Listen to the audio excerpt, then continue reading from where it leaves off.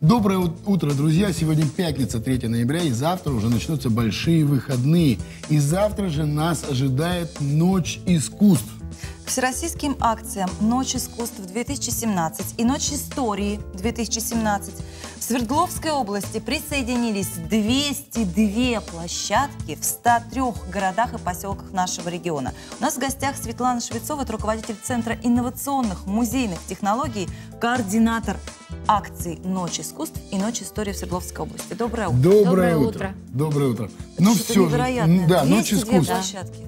По Как- сравнению с прошлым годом, это в 2016 году 107. Вот, Да. ну практически вот э, в два раза. Но скажите, какой теме все-таки будет посвящена Ночь в этом году? Главная тема – юбилей, э, столетний юбилей э, революции 1917 года. Почему-то я не удивлен. Ну, потому что год у нас такой.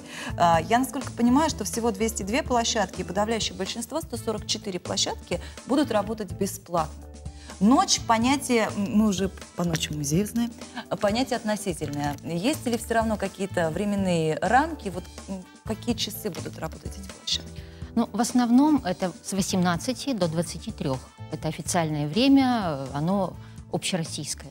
Но, например, э, самая, можно сказать, одна из основных важных площадок э, и участников мультимедийный исторический парк, он у нас будет работать с 10 утра до 11 вечера. Вот так. И в режиме нон-стоп программы, мероприятия сменяют друг друга.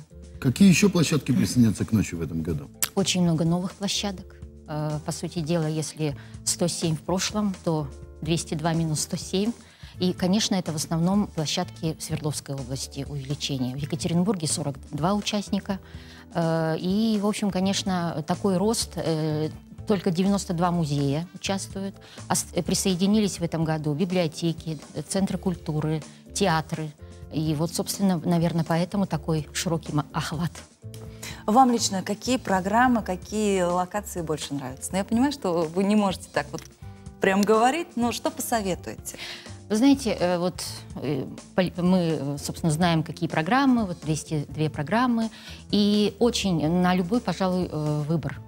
Поэтому у всех вкусы разные. Могу сказать только то, что есть детские программы, есть программы для семьи, есть программы для молодежи и для людей уже более солидного возраста. Поэтому на любой вкус. Э, Ну, можно сказать, э, детские программы. Нижнетагильский театр кукол приглашает в свое закулисье не просто знакомство, а целый квест мне там организовывают. Теневой театр, мастер-класс э, с кукловождением и песо- э, пе- песочная вот эта анимация известная. То есть это вот в Нижнетагильском э, театре кукол.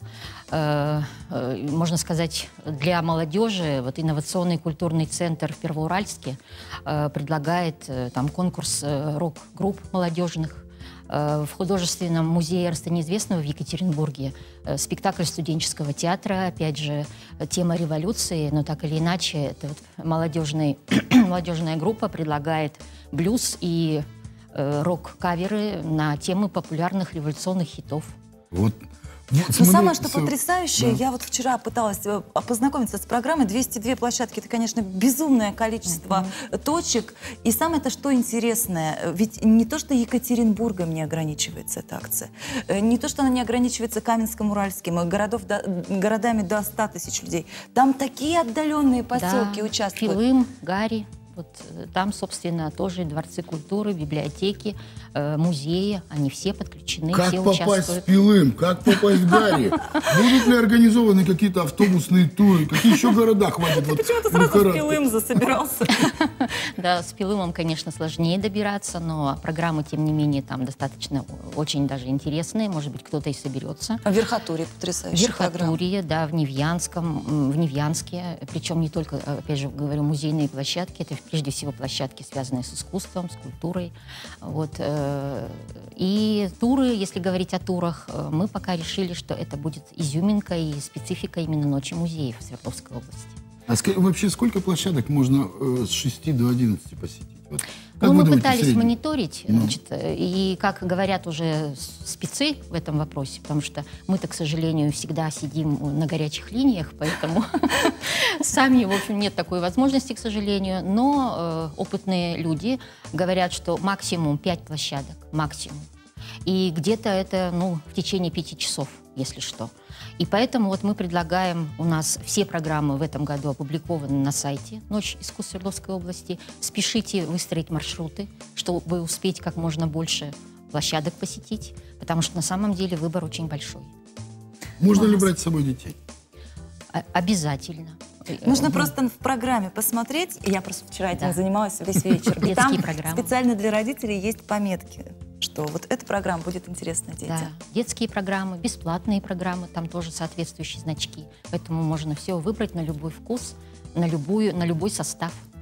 Праздничный день, Да. День народного единства. И замечательные планы на вечер вы можете составить уже сейчас. Благодаря нашей гости Светлана Швецова, руководитель Центра инновационных музейных технологий, рассказала нам о двух акциях, которые будут проходить в Свердловской области и Российской Федерации в целом уже завтра. И называются они «Ночь искусств» и «Ночь истории». Не пропустите. Ну а мы, друзья, после небольшой рекламы вернемся в студию и узнаем, какой у вас сегодня праздник.